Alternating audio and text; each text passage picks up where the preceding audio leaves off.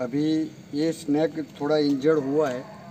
दोस्तों अरवली का और एक पन्ना खोलने जा रहे हैं। मोड़ासा तालुका का एक गाँव सरडोई, वहाँ एक रेड स्नैक इंजर्ड हुआ है।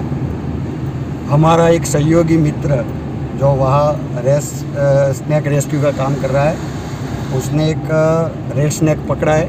वो इंजर्ड है तो हम उसको लेने के लिए निकले हैं। जा रहे हैं बने रहिए हमारी चैनल अरवली के पन्नों के साथ। और चैनल को सब्सक्राइब करिए, लाइक कीजिए और शेयर कीजिए। जय हिंद।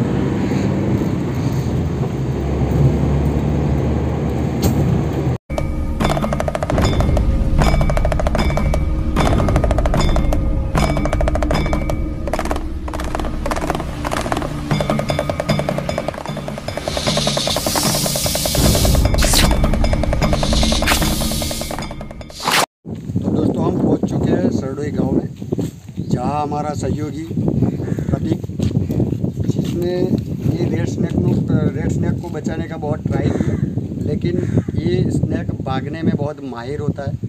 वो भागने लगा तो धारदार कुछ चीज़ उसको लग गई है तो ये इंजर्ड हुआ है। तो मैं आपको दिखा रहा हूँ और इस स्नैक को हम डॉक्टर के पास ले जाके उसको हम उसकी सारवार करने वाले हैं। तो हम बने रहिए हमारी चैनल अरवली के पन्नों के साथ।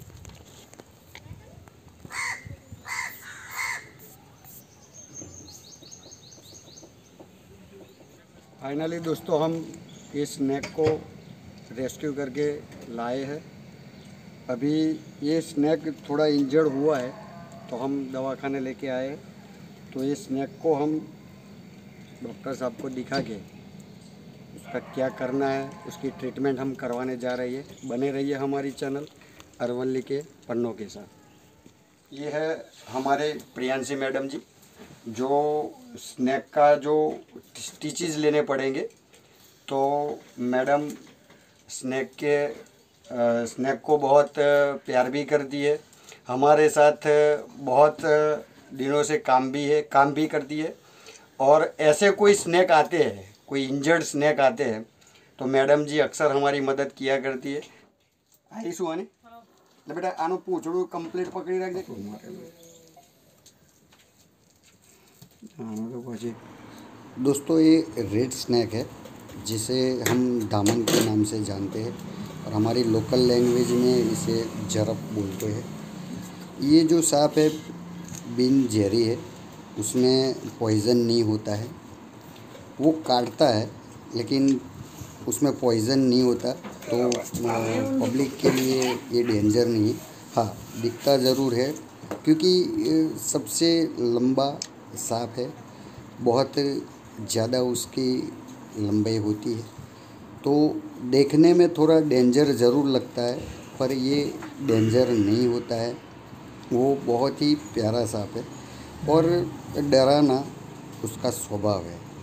क्योंकि पॉइज़न है नहीं इसमें तो कुदरत ने उसको डराने का गुण दिया है स्वभाव दिया है तो वो डराता है। लेकिन बहुत ही प्यारा और मासूम सांप होता है ये। तो प्लीज़ इसे मारिए मत। ये जो इंजेक्शन जो दिया जा रहा है वो इसलिए दिया जा रहा है कि अगर स्टिचेस लेने पड़े तो सांप की जो त्वचा है, वो थोड़ी सुम हो जाए, जिससे सांप को दर्द ना हो और सांप को कोई तकलीफ़ ना हो। इसलिए मैडम जी ने दिया है, देखते रहिए आप, बने रहिए हमारे चैनल में। दोस्तों, हमने सांप को पकड़ा है, ऐसे पकड़ा है कि सांप को कोई दर्द ना हो, तकलीफ़ ना हो और शांति से उसका इलाज हो सके। इसलिए थोड़ा पकड़ा है। इलाज के बीच वो ज़्यादा घायल ना हो सके, इसलिए हमने उसको पकड़ा है। तो दोस्तों, ये जो सांप होता है, जो पब्लिक उसको मारती है तो आप देख रहे हो कितना दर्द हो रहा होगा। और ये जो सांप है, उसको मार के कुछ नहीं मिलता है क्योंकि ये जो सांप है, वो प्रकृति के पर्यावरण के मित्र है। उसको बचाने के लिए ही कुदरत ने उसकी रचना की है। तो आप मारिए मत। जानिए, सोचिए, समझिए कि ये कुदरत और पर्यावरण के रक्षा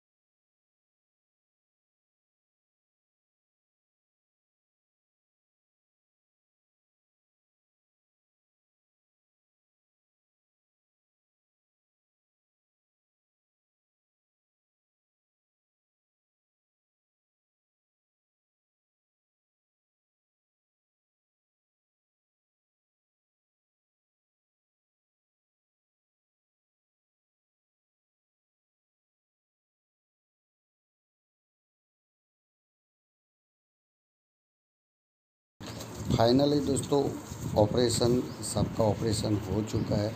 ऐसे तो सबका ऑपरेशन एक से डेढ़ घंटे तक चला था लेकिन थोड़ा हमने काट दिया है क्योंकि वीडियो बहुत लंबा हो जाता है। तो मर्यादा में रह के हमने वीडियो बनाया है। तो आप देखते रहिए हमारी चैनल को। लाइक कीजिए शेयर कीजिए। तो अभी हम इसको एक हफ़्ते तक हमारे निगरानी में रखेंगे, फिर देखेंगे कि इसकी हालत क्या है, फिर इसको हम उसके आवास, जो जंगल है, उधर हम छोड़ के आएँगे। बने रहिए हमारी चैनल अरवल्ली के पन्नों के साथ, और हमारी चैनल को लाइक, सब्सक्राइब करिए और शेयर कीजिए। जय हिंद।